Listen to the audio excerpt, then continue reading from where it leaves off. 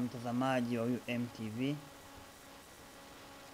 karibu katika tafakari ya neno la Mungu, ikiwa leo ni Jumatatu, mwanzo wa wiki, tukiwa juma la saba la kipindi cha Pasaka.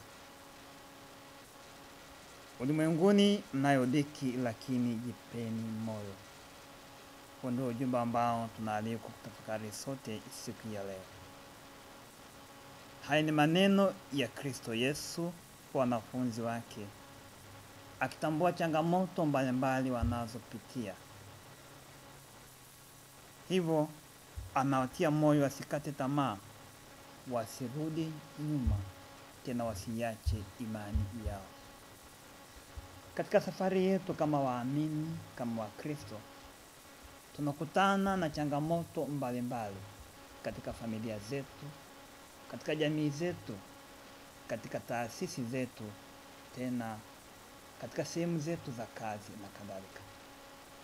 Mpendwa mtazamaji wa UMTV, tunapokutana na changamoto hizo mbalimbali, hatupaswi kukata tamaa, hatupaswi kurudi nyuma, hatupaswi kuiacha imani yetu. Changamoto tunazokutana nazo zapaswa kwa sababu ya kutusaidia tuzidi kumkimbilia Kristo, tuzidi kumng'ang'ania Kristo, tuzidi kuambatana na Kristo. Tutambiwa wazi kwamba Kristo Yesu anatupenda upeo na yupo tayari kututoa katika changamoto mbalimbali tunazopitia, iwe ni katika jamii zetu, iwe ni katika familia zetu, au iwe ni katika sehemu zetu za kazi.